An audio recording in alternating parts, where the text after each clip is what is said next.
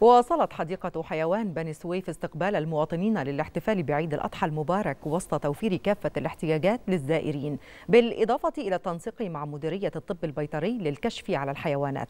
ووضعت حديقة الحيوان خطة قبل عيد الأضحى المبارك لمواجهة أي زحام داخل الحديقة من خلال توفير كافة سبل الراحة للزائرين المترددين وتركيب خرائط جديدة كدليل لمساعدة الزائرين أثناء التجوال ورؤية جميع الحيوانات بسهولة.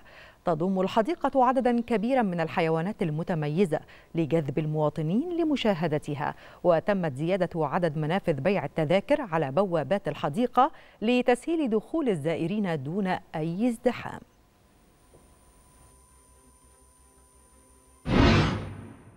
بنستأنف استقبال السادة الزوار أيام عيد الأضحى المبارك. أعادوا الله عليكم وعلى الأمة الإسلامية والعربية كلها بألف خير يا رب.